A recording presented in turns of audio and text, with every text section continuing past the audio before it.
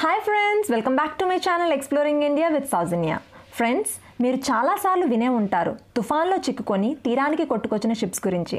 కానీ నేను నా లైఫ్లో ఫస్ట్ టైం ఇలా తీరానికి కొట్టుకొచ్చిన షిప్ని చూస్తున్నాను. అయితే ఈ షిప్ ఏ తీరానికి వచ్చింది ఎలా వచ్చింది అనుకుంటున్నారా? అయితే వినేయండి మరి. బంగ్లాదేశ్కి చెందిన ఎంవిమా అనే కార్గో షిప్ విశాఖపట్నం పోర్ట్కి సరుకులు తీసుకువెళ్ళేందుకు టూ డేస్ బ్యాక్ వచ్చింది. పోర్ట్ సమీపంలో పర్మిషన్స్ కోసం లంగర్ వేసుకొని ఉంది. సోమవారం రాత్రి బలమైన గాలులు తుఫాన్ కారణంగా లంగర్ తాళ్ళు తెగిపోయి అక్కడి నుంచి ఫోర్ కిలోమీటర్స్ దూరంలో ఉన్న ఈ తెనేటి పార్క్కి షిప్ ఈ విధంగా కొట్టుకొచ్చింది. ఇక్కడ ఇసుక రాళ్ళ మధ్యలో ఇలా ఇరుక్కుపోయింది. షిప్లో ఉన్న సెయిలర్స్కి ఎటువంటి ప్రమాదం జరగలేదు. అయితే ఇలా షిప్ తీరానికి రావడం వల్ల ఎప్పుడూ బిజీగా ఉన్న తెనేటి పార్క్ మొత్తం క్లోజ్ చేసేశారు.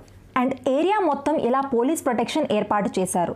కార్ పార్కింగ్ బైక్ పార్కింగ్ కూడా ఎలా చేయడం లేదు. సో మీరు ఈ షిప్ని చూడాలి అనుకుంటే ఇలా పార్క్ బయట నుంచి నిలబడి ఈ విధంగా చూడవచ్చు. బట్ ఇలా తీరానికి వచ్చిన ఇంత పెద్ద కంటైనర్ షిప్ని చూసి మనకి చాలా ఆశ్చర్యం వేస్తుంది. అక్కడే ఉన్న ఒక పోలీస్ ఆఫీసర్తో నేను మాట్లాడాను.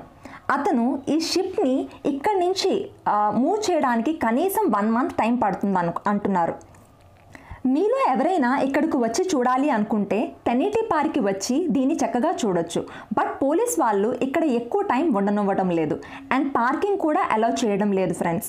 సో మీరు మీ వెహికల్స్ని కైలాసగిరి యొక్క రోప్వే కార్ పార్కింగ్ దగ్గర పార్క్ చేసుకొని అక్కడి నుంచి నడుచుకొని చక్కగా రావచ్చు.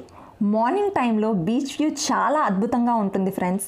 మేము అక్కడ దిగిన కొన్ని ఫొటోస్ మా ఫ్యామిలీ పిక్స్ మీతో షేర్ చేస్తున్నాను. Hope you like it.